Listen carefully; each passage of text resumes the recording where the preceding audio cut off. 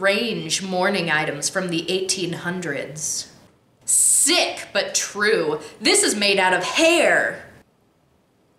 Creepy death jewelry from the Victorian era. Seven most morbid Victorian death customs. Victorian mourning wreath.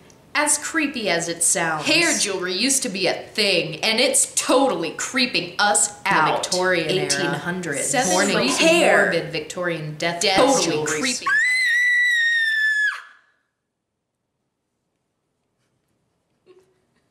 It's finally October, and that can only mean one thing that the era of creepbait is upon us once again.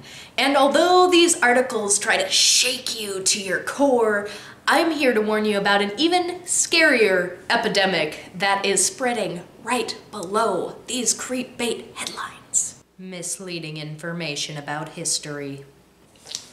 Pumpkin spice lattes are also a scary thing that happens this time of year, but I really can't do anything about the lattes. So instead today, we say nay to the ghastly way these articles try to shock and bait as we reclaim the internet in the name of history and sentiment. Let's go. Four common hairwork myths. Myth number one, all Victorian hairwork was made for mourning purposes. Hair during the Victorian era was kept, saved, and exchanged for a number of reasons. Sometimes, yes, it was kept to commemorate a deceased loved one, but it was also used for a variety of other sentimental purposes. Lovers might exchange locks of hair for a romantic keepsake, and many friends would even trade hair with one another. Although this may seem a little unusual to us today, this was really no different than children exchanging school pictures with their classmates, or even teenagers signing each other's yearbooks. These are only a couple of non-mourning examples of how hair was cherished during the Victorian era. And yes, these are all still sentimental in nature because at the heart of it, it is a physical piece of someone that you care for. But that doesn't mean that they're all dead. Many, dare I say most, pieces of sentimental hair work were made from the hair of someone who was alive and well. And yes, I hear you rushing down to the comments to write, well, they're all dead now. Yes, yes, I have heard that one before. Trust me, we get it. Myth number two, Hairwork fell out of fashion when photography was invented. Just as hairwork has many myths, so too does Victorian photography. Put the two together and we have the perfect storm of fake news! Ugh. I hate myself for saying that. Do you hate me for saying that?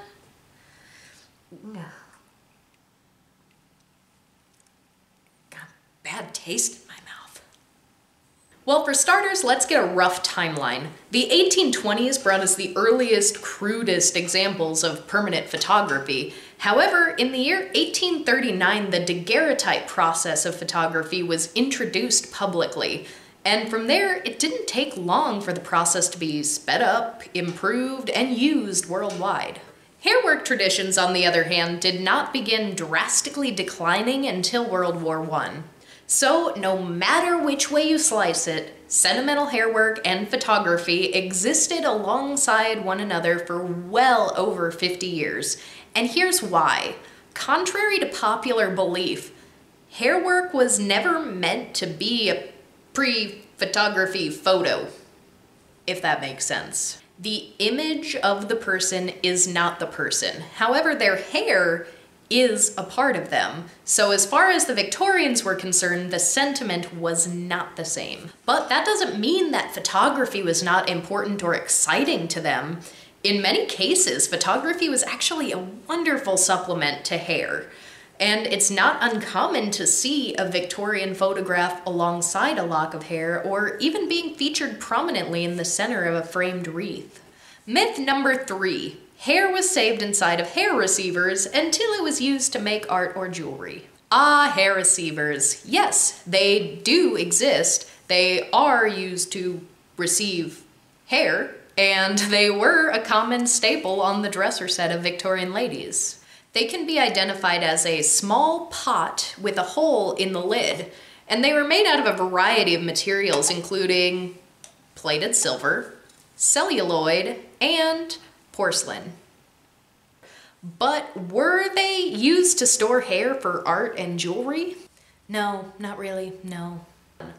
Almost every hairwork technique requires hairs that are smooth, untangled, and all the same length, and hair receiver hair is just not conducive to doing this kind of work. For example, as a Victorian lady brushing my hair, by the time I'm ready to pull the strands off of the brush, they're already quite tangled. Some of them are broken and therefore shorter than the rest, and this is not conducive to working with it, and it's only gonna get worse the longer it sits in the hair receiver. There are one or two exceptions to hair work you can do with receiver hair, but these options are limited and were certainly not the norm. Because, look at this. Nobody wants to make art with this. It's not pretty. So what was receiver hair used for? Well, it was a fiber that wasn't very pretty, but it was free and renewable. So rather than sentimental, let's think practical. Hair receiver hair was most often used to sew into a hairnet in order to make what was called a rat. And rats can best be described as, well, a hairball that women would then put in their hair in order to style it and add a little extra volume. Myth number four, before working with it, the hair would be soaked in oils to preserve it. I hear this myth from time to time, and I also often get asked by curious strangers what I do to preserve the hair in my own work. So it's super clear that people just assume that the hair, as part of the body, will decompose if you don't preserve it somehow. And because so many people ask and so many others just assume, I want to set the record straight once and for all. Human hair is comprised of a very strong protein called keratin that makes it extremely resistant to decay.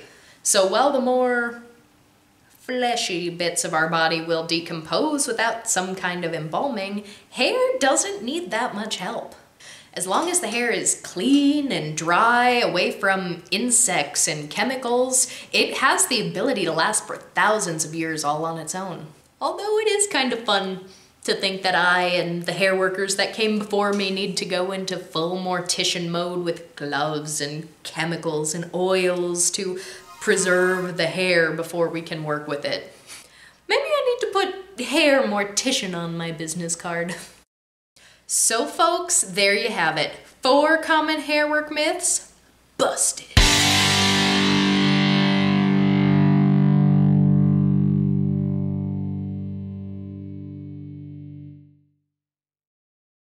Thank you for liking, commenting, and subscribing.